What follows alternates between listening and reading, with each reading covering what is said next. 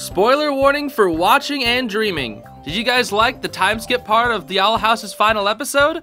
Well, here's a few things you may have missed. Number one, Luz is wearing Amity's necklace. This necklace is something that Amity wears throughout the latter half of season 2, and she most likely gives it to Luz as something to remember her by in her days in the human realm. Number 2, Eda and Raine switch earrings. Here's them before the time skip, and here's them after the time skip. Pretty cute thing happening between couples I've been noticing. Number 3, each of the five main characters have a Flapjack tattoo to remember Flapjack by.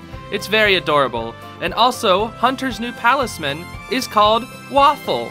Very cute. Number four, the KC on King's new collar stands for King Clawthorne to represent the fact that he has truly been adopted by Eda. I'm also putting this one in out of spite because I originally thought it was King Collector, probably because I was super sleep deprived when making that video, but then I got a thousand comments saying it wasn't. Now people think I'm stupid. Ha ha ha.